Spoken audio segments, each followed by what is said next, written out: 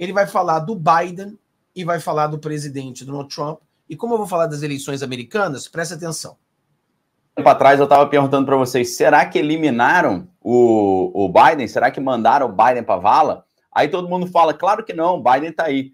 Pessoal, esse retorno do Biden trouxe uma série de coisas estranhíssimas. Eu vou mostrar isso tudo para vocês, tá? O relógio dele estava com o horário errado, as fotos na mesa dele eram todas diferentes.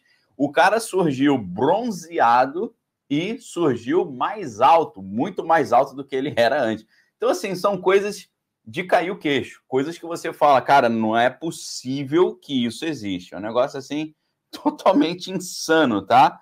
Então, eu vou explicar isso tudo em detalhes para vocês, ok? Tivemos notícias sobre a orelha do ex-presidente Donald. Ele, ele apareceu novamente sem o, o band-aid na orelha. A orelha está perfeita, não tem nada ali. Então, uma série de coisas estranhas acontecendo. O cara apareceu, olha a cor que esse cara tá. A gente tem que parar aqui e tentar explicar. Peraí. Um dos maiores youtubers que supostamente de direita no Brasil, um cara que fazia é, uma trabalhava na Oeste, trabalhava na Gazeta do Povo, é, escrevendo para eles, né? Ele diz que o Biden morreu e que o presidente Donald Trump não foi atingido na orelha. Isso uma pessoa que se diz de direita.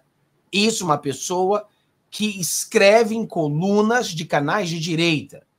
Essas são as pessoas que a direita brasileira segue para pegar informação. Então, peraí, o Biden não é o Biden e o Trump não foi atingido pela orelha. Fica pior. Vamos lá que fica pior.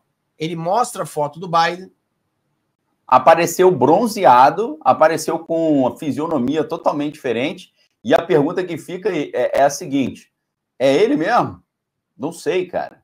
É, é uma máscara? Não sei. Eu sei que a CIA tem máscaras que são ali é, completamente Uh, são máscaras que são completamente realistas desde os anos 70. A gente sabe disso, tem palestra até do TED Talks da ex-agente da CIA que fazia isso, tá? Olha o visual que o cara apareceu. E não é só o visual, a cor da pele dele, a fisionomia, a altura. O cara surge gigante, muito mais alto do que o normal, muito mais alto do que a, a estatura comum dele, tá? Então, um negócio estranhíssimo. Agora, é, Donald Trump, é, Ex-presidente Donald apareceu ontem, tá? Orelha, essa aqui é a orelha dele ontem. Perfeita, perfeita, tá? Sem nada ali, ó. Vamos dar o zoom aqui, ó. No zoom aqui, ó. Perfeito, tá certo? Aí você fala assim, peraí, como é que pode isso, né? Então, assim, nós estamos vivendo num mundo que é um mundo, assim, estranhíssimo. Como é que pode isso? Bom, como é que pode as pessoas acreditarem numa pessoa dessa. No Brasil, falaram que o ferimento do presidente Bolsonaro era mentira. Nos Estados Unidos, a esquerda está levantando que o ferimento na orelha do presidente Donald Trump é uma mentira. Aí, uma pessoa que é um youtuber grande, que tem milhares de seguidores, ele pega as mentiras da esquerda, compactua com essa mentira e espalha. Você não precisa ser nenhum grande comunicador, nenhum grande investigador para fazer uma pesquisa em três segundos e descobrir que, na verdade, essa foto que ele está mostrando era uma foto tirada em 2022. Essa foto da orelha do Trump foi uma foto tirada antes do atentado. É uma foto antiga. Óbvio que é uma foto antiga. O presidente Donald Trump não apareceu em nenhum lugar sem o curativo na orelha.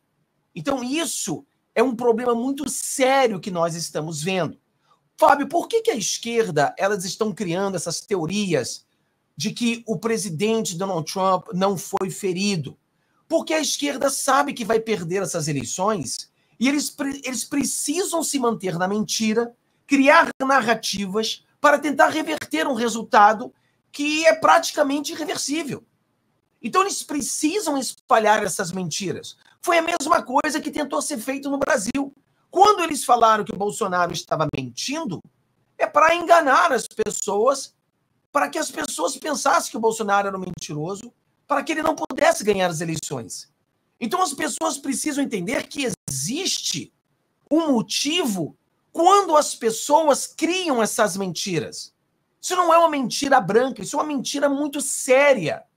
Pessoal, você vai. O negócio é tão absurdo que eu até mostrei para os membros na live de ontem. Eu mostrei para eles, vou mostrar para vocês mais uma vez o, o que a gente está falando, né?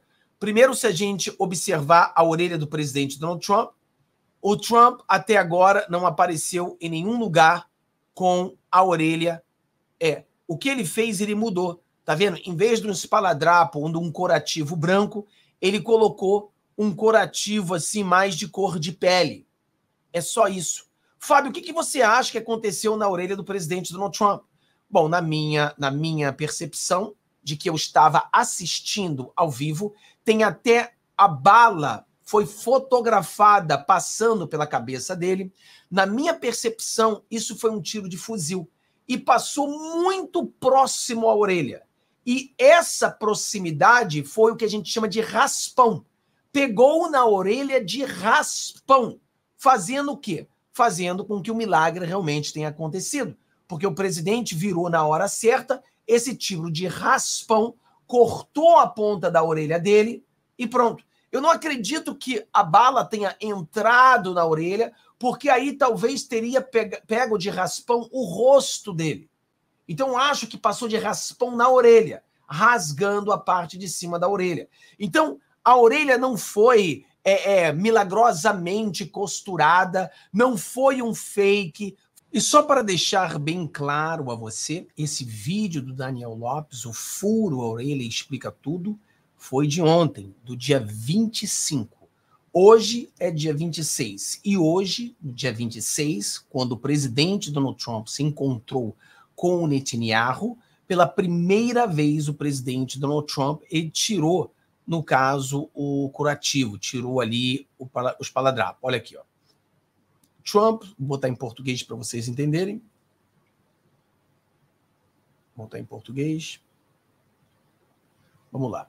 Médico de Trump divulga atualização sobre sua recuperação do tiroteio enquanto o ex-presidente aparece sem curativo pela primeira vez em uma reunião. Então tá aqui, vamos ver as fotos, tá aqui o presidente Donald Trump.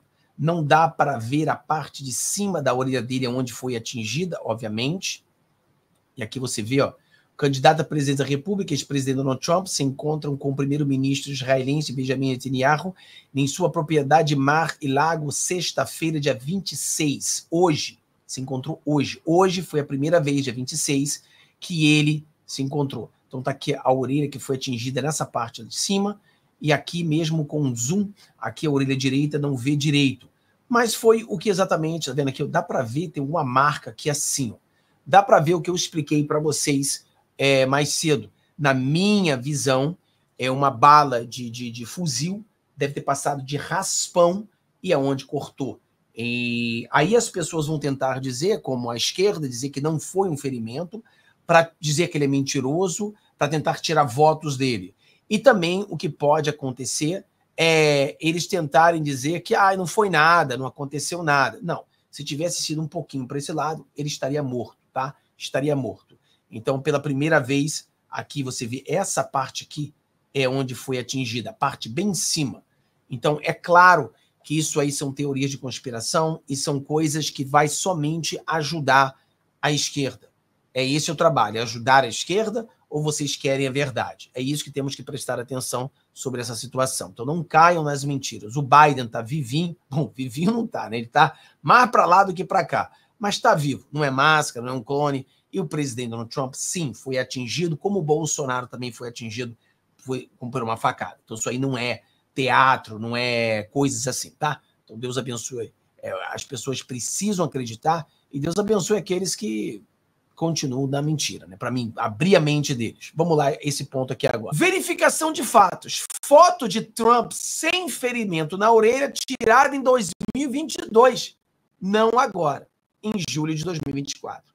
Até a grande mídia tem, é só você procurar a mídia mostrando as mentiras, os, os absurdos que nós estamos vendo. Um absurdo total. Olha, ó, verificação de fatos, foto de Trump sem ferimento na orelha tirada em 2022, não em julho de 2024. Cara, pelo amor de Deus, uma coisa tão fácil para as pessoas verem. Aí a pessoa cai numa mentira dessa. Entendeu? Então isso é um absurdo dos absurdos. Então vocês têm que ver o que, que vocês querem da vida. Vocês querem a mentira ou vocês querem a verdade? Você é uma pessoa de direita de verdade ou você é um esquerdista que botou uma camisa amarela do Brasil e agora você se sente, né? Ver amarelo por fora e vermelho por dentro. Quem é você? Você quer mentira ou você quer verdade? Porque é, uma, é, é muito triste a gente ver essas mentiras sendo contadas. É muito triste. Sério, que tudo foi uma armação. Sério, que tudo foi um teatro. O presidente Donald Trump, que estava ganhando, ele fez um teatro. E o cara que morreu atrás do presidente Donald Trump? A bala passou pela orelha dele e acertou o cara que estava atrás. E esse cara veio a falecer. E esse cara é teatro também? E o cara que morreu na frente? E o atirador que morreu? Isso foi tudo teatro. Então a gente tem que botar o pé no chão e falar, poxa, pelo amor de Deus, existe, existe um, um, um ponto que a gente não pode passar. Poxa, pelo amor de Deus, pessoal. Aí você fala assim, mas Fábio, o cara se enganou. Mas peraí, mas o cara não é o seu professor? O cara não é super inteligente? Como é que uma pessoa super inteligente se engana com algo tão idiota? Aí você tá brincando comigo. Como é que essa pessoa se enganou? O cara prepara um vídeo, mostra fotos, se enganou? Não, isso não se enganou. A pergunta é, por que, que ele faz isso? Essa é a pergunta que somente ele pode responder. Só ele pode responder. Vamos ver aqui agora o que está acontecendo nos Estados Unidos, continuando. Continuando o que está acontecendo nos Estados Unidos. E eu digo para você, várias pessoas responderam aqui. O presidente Donald Trump vai ganhar essas eleições? Vai ganhar essas eleições. Vai ganhar. Lembra você que é o seguinte: quando o presidente Donald Trump ganhou em 2016, nunca ele esteve na frente nas pesquisas. Todas as pesquisas, presidente Donald Trump estava atrás e ele ganhou. Em 2020, ele nunca esteve à frente das pesquisas e ele perdeu. E agora, em 2024, ele está à frente em todas as pesquisas.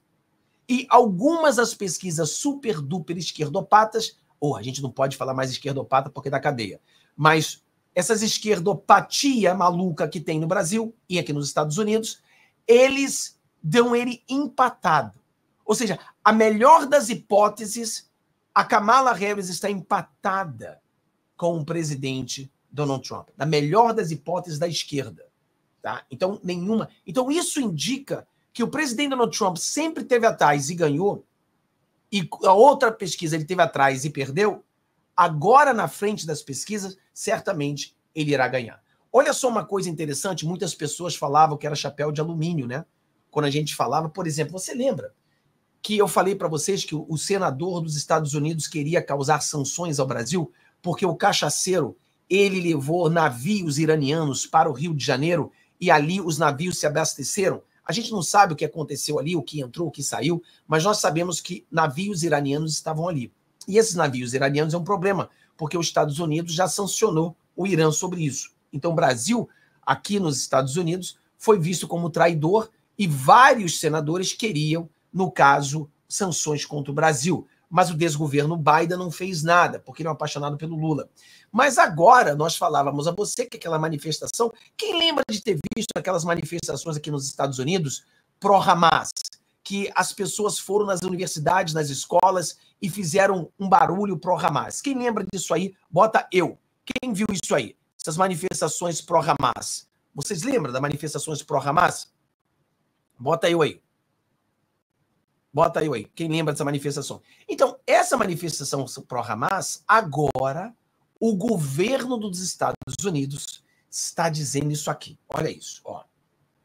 Director of National Intelligence came out publicly and said that we do know that uh, Iran has been funding and encouraging uh, some of the protest activity here in the United States. Some... Então ele fala assim: a inteligência americana veio a público já de uma vez, porque a pergunta a ele foi: olha, o, é verdade que Irã está financiando esses protestos pró-Hamas.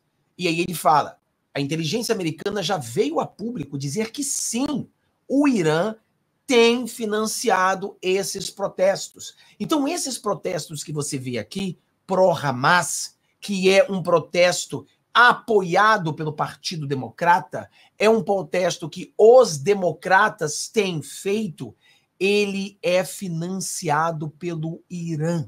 Olha que absurdo. Olha o absurdo. O Irã financiando protestos pró-Hamas. Porque nós questionávamos que esses protestos nas universidades, as tendinhas, né, aquelas cabaninhas de acampamento, tenda de acampamento, todas eram iguais. Aí você fala assim, mas como é que são todas iguais? Como é que todas as tendinhas são iguais? Incrível, né? Porque pensa comigo, pessoal, se a gente vai fazer um movimento orgânico, então tá eu, a, a, a Ana, tá o Lucas, a Cássia, tá aqui o Gabriel, todos nós aqui vamos fazer uma manifestação orgânica. Como que todo mundo compra a mesma tenda? Então, quando você vê aquele monte de tenda todas exatamente iguais, na, automaticamente vem na sua cabeça. Essas tendas foram compradas por uma única pessoa. Não é? Então você vê que agora eles confessam que sim, o Irã financiou os democratas para fazer protesto nos Estados Unidos é assim um nível de cara muito, muita podridão. Aí você percebe, você não acha que no Brasil esses terroristas do MST não, também não estão recebendo dinheiro para fazer protesto no Brasil? Hã? Você não acha que essas ONGs que recebem dinheiro de Soros e companhia não é a mesma coisa? É a mesma coisa. É dinheiro de fora. É dinheiro podre. É isso que a gente tem que ver. Aí, olha só, a, a Kamala Harris, So I just had a frank and constructive meeting with Prime Minister Netanyahu. I told him that I will Eu tive uma conversa franca e construtiva com Netanyahu sobre a situação aí, né? Always ensure that Israel is able to defend itself, including from Iran and Iran-backed militias such as Hamas and Hezbollah. Então ela se apresentou dizendo que teve uma conversa com Netanyahu e que ela concordou com ele que Israel tem todo o direito de se defender contra Hamas e contra o Irã. Ela não falou nada sobre poder invadir Palestina, porque nós sabemos que ela é pró-Palestina. E nós sabemos que em Michigan, todos os árabes em Michigan estão muito pé da vida com ela por ter falado isso. Mas o presidente Donald Trump desmentiu a fala dela. O presidente Donald Trump, que Nada mais, nada menos. Olha a diferença, pessoal. Você viu ela se encontrando com o Netanyahu? Não. O Netanyahu chegou nos Estados Unidos e não foi acompanhado por ela, mas ele foi recebido pelo presidente Donald Trump. Olha só.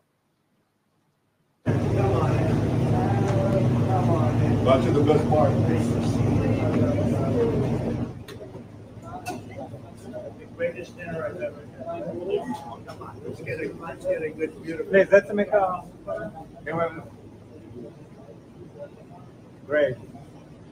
Então, o presidente Donald Trump ele recebe Netanyahu em sua mansão ali de Mar de Lagos e vai bater um papo. E no papo, o presidente Donald Trump falou isso aqui. Vamos lá. Olha só o que ele falou. Uh, I think her remarks were disrespectful. They weren't very nice. Eu acho que as, os posicionamentos da Kamala Harris foi desrespeitosos aos judeus. Pertaining to Israel. I actually don't know how a person who's Jewish can vote for her. Eu não entendo como uma pessoa que é judia ou judeu pode votar para uma pessoa como essa.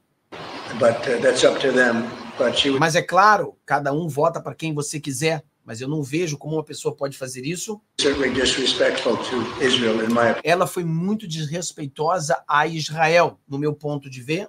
Uh, Mr. Trump, has your relationship with the prime minister repaired at all? Uh, it's- It was never bad. We was, uh, I would say it was always, the president has done what I've done for Israel. And uh, we've always had a very good relationship. Perguntou sobre o relacionamento dele com Netanyahu e ele disse que nós sempre tivemos um grande relacionamento, eu e o Netanyahu. And uh, if I didn't, I, I have a secret weapon. You know what it is? Sarah. Sitting right over here. I have Sarah. As long as I have Sarah, that's all that matters. Ele brincou falando que ele tem uma arma secreta, Sarah, né? A esposa dele, no caso. Do you feel like after this trip, Mr. Prime Minister, we're any closer to a ceasefire deal? I hope so, but uh, I think time will tell. We're certainly uh, eager to. A repórter perguntou se eles estão esperando um ceasefire, né? Tipo, uh, parar o, a guerra entre Israel e, e ali a Hamas, a Palestina. Ele falou que espera que sim, espera que termine isso em paz. Uh, and we're working on it. Are you sending teams to Rome? Sorry? Are you sending teams to Rome to No. continue those negotiations? dispatching the team uh, probably in the beginning of So, basicamente, eles estão aqui batendo um papo. E o meu ponto aqui é o seguinte: o Netanyahu sabe que a Kamala Harris não é pró-Israel. Ela está fazendo um jogo político agora. Ela tem que dizer que é, porque se ela falar que não, ela perde todo o dinheiro dos doadores judeus que vai direto a ela. Então, esse é o ponto. Então, ela vai tentar fazer como Lula. O Lula é um comunista que ele tem um pé numa canoa e na outra canoa. Ele pisa no globalismo e no comunismo. E ele tenta andar com essas duas pernas. A Kamala Harris ela vai tentar se colocar como alguém moderado. A Kamala Harris é de extrema esquerda, ela é totalmente progressista, anti-arma, é pró-aborto, ela é tudo isso que todo progressismo acredita. Só que o problema nos Estados Unidos é que ela precisa do voto dos independentes. Os votos dos democratas ela já tem. É a mesma coisa que o presidente Donald Trump. O presidente Donald Trump já tem o voto dos republicanos. Ele precisa dos votos dos independentes. Que vai fazer a diferença nessas eleições são os independentes. Então, ela precisa se mostrar ao povo americano que ela é alguém moderada. Meu amigo, boa sorte mostrar para o povo americano que essa mulher de extrema esquerda é moderada. Ontem mesmo eu conversava com um senhor que não gosta muito do presidente Donald Trump e ele falou para mim, cara, eu terei de votar para o presidente Donald Trump porque a Kamala não dá. E estou falando de um gringo, tá? Um gringo, totalmente gringo, que não gosta do Trump. Você sabe que eu moro na Califórnia. Na Califórnia existem muitas pessoas que não gostam do Trump. E mesmo as que gostam do Trump, a grande maioria acha que nós poderíamos ter alguém melhor do que o Trump, né? Muitos deles. Mas entre a Kamala e o Trump, todos que eu conversei até agora vão votar para o Trump, porque eles não toleram a Kamala Harris.